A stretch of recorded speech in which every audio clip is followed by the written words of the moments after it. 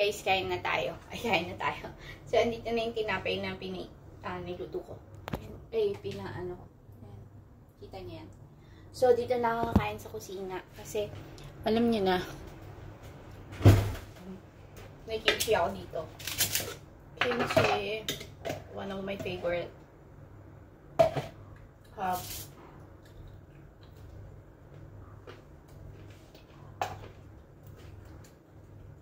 Para hindi na magkahalat dun sa ano.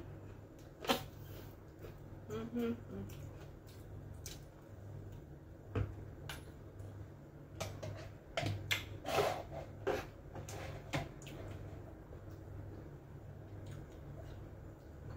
Hindi pala nakakabalik sila lolo kasi hindi pinayagan ng doktor. Kasi yung hiwa niya sa tiyan, hindi na siya pinayagan, hindi mo na siya pinayagan bumalik dito. So, mag-isa pa ako sa bahay. Yung flatbread.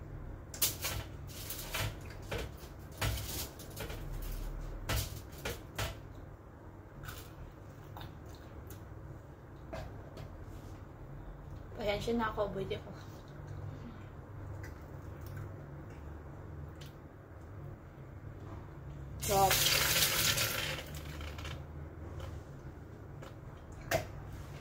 Oh, no, anong pasok?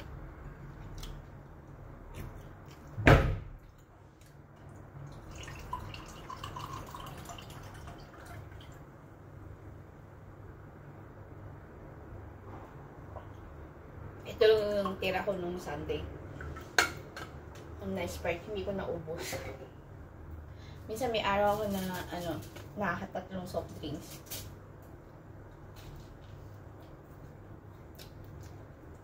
Tapos pag hindi ko naubos, binabalik ko sa ref. Oh my God. Ang dumi ko kumain. Lagyan natin yung kimchi.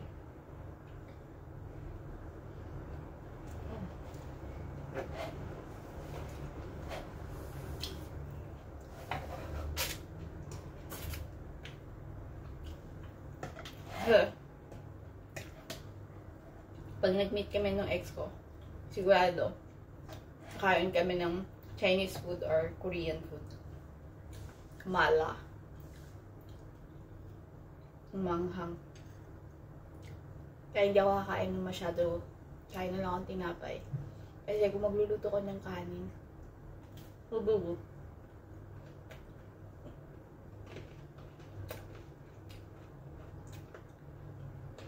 Mabigat na naman itong tinapay.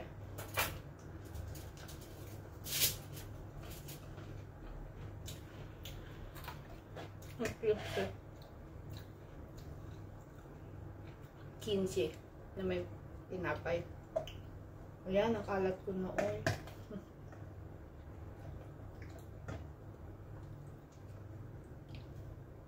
Ayan. Ganito ako kapag linggo, kapag mag-isa.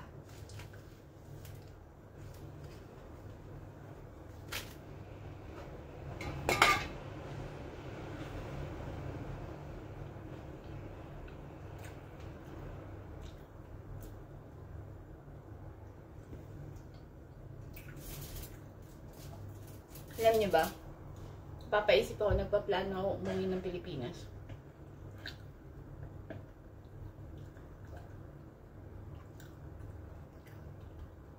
Mga December.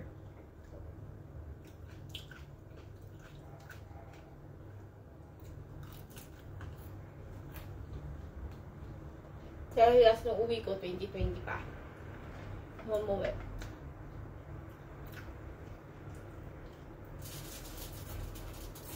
Napili ko homesick.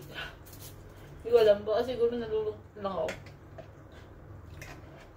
Ngayon ko nararamdaman yung lungkot, unlike before. Nasanay na sanay ako na mag-isa.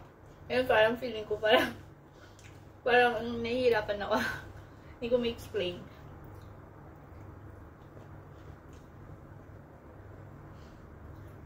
Kaya sabi ko sa sarili ko na, ang tapang-tapang ko, ganun. Kaya ako mag-isa, ganun, ganun narating din pala sa punto na parang may mamimiss ka, gano'n. Yung nasanay kang may nakakausap. dati sanay ako na walang kausap. Tapos yung biglang nawala yung taong lagi kong kinakausap. Parang nalulungkot na ako.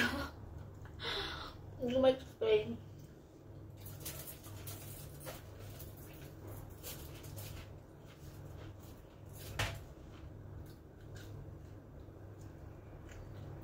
Yun ba kayo?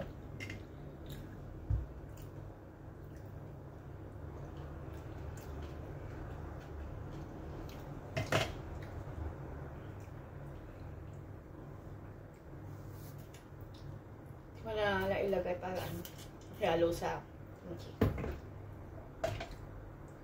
Ito kumain eh, kimchi na mayroong ketchup tapos tinapay. Ang weird ko, no? Tapos yung ginahain ko tinapay is ang palaman niyan red onion.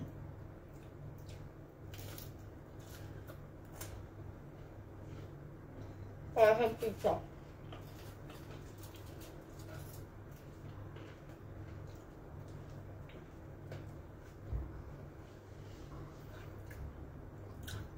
Tumatabanan naman ako.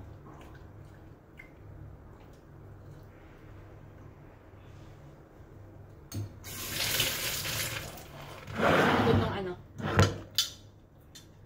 Red, ano, ano na? Basta ewan. Ang hirap i-pronounce yung mga gan. Saan ko nga? From pickles. Ang hirap naman buksan.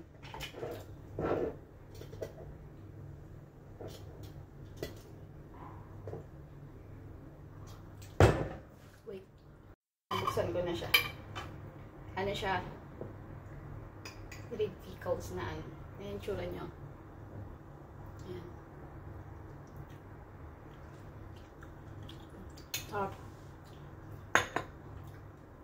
Good.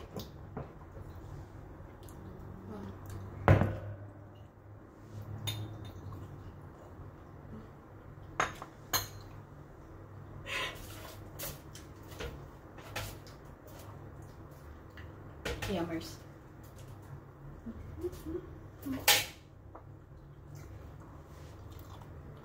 Ang sarap. Masim-masim.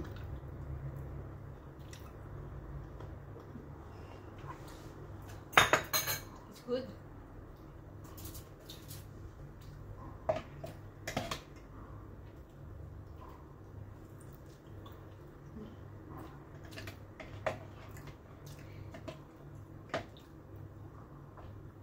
Gutom na gutom eh, no? Noon. Ang gusto ko pa.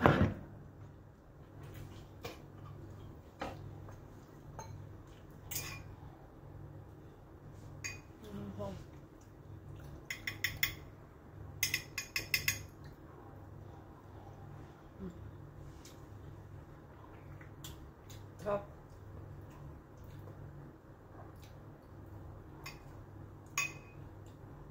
Parang masarap siya sa kanin. Hindi nga pwede magkanin.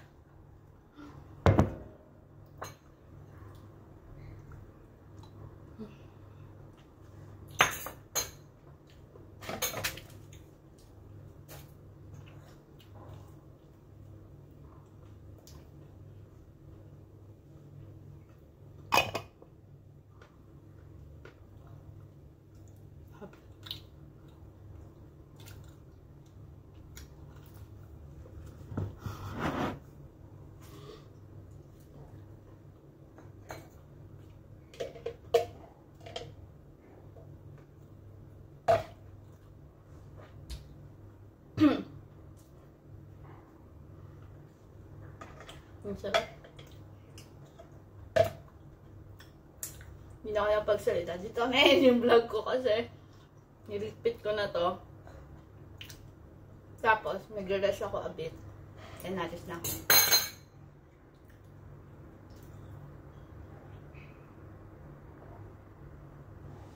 Bye guys and God bless. Ay!